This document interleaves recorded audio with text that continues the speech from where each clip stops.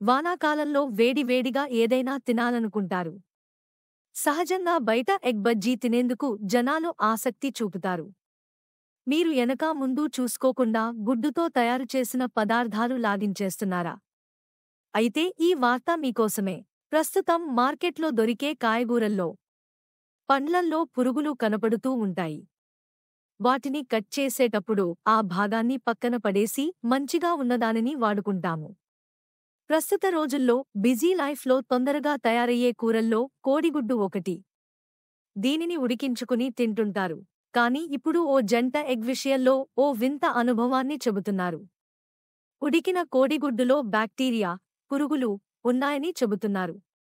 కోడిగుడ్డులో పురుగులు ఉన్న video social మీడియాలో వైరల్ అయింది. ఉడకబెట్టిన గుడ్డులో పురుగు ఉన్నట్టు వీడియోలో స్పష్టంగా కనపడుతుంది. దారం షేప్లో పొడవుగా ఉన్న పురుగు ఉంది. దీనిని తింటే అది మన శరీరంలోకి వెళ్ళి గుడ్లు పెడుతుంది.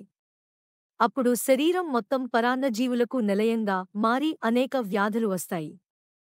ఈ వీడియో సోషల్ మీడియాలో వైరల్ కావడంతో నెటిజన్లు స్పందిస్తున్నారు. చాలామంది ఉడకబెట్టిన తరువాత కీటకాలు చనిపోయాయని రాశారు. గుడ్లలో సాధారణంగా సాల్మొనెల్లా బాక్టీరియా ఉంటుందని ఒకరు చెప్పారు. మరొకరు దీనిని థ్రెడ్ అన్నారు. నకిలీ ప్రపంచంలో ఫేక్ ఎగ్స్ దొరుకుతున్నాయని మరొకరు కామెంట్ చేశారు. గుడ్లను ఫ్యాక్టరీలో తయారు చేస్తున్నారంటూ. ఇది కూడా ఫ్యాక్టరీ ఎగ్ అని. దాని లోపల థ్రెడ్ వదిలేయాలని కామెంట్లు వస్తున్నాయి.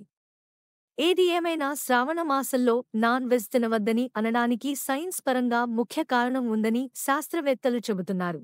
వర్షాకాలంలో బ్యాక్టీరియా చాలా త్వరగా వృద్ధి చెందుతుంది.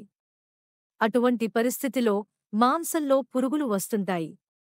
గుడ్లు ఉడకబెట్టిన తర్వాత దాని తొక్కలు తీసి చూడగా తెల్లటి రంగు పురుగు కనపడింది. కాబట్టి వర్షాకాలంలో మాంసం చేపల్లో ఇలాంటి పరాన్నజీవులు కనిపించడం సర్వసాధారణమని చెబుతున్నారు.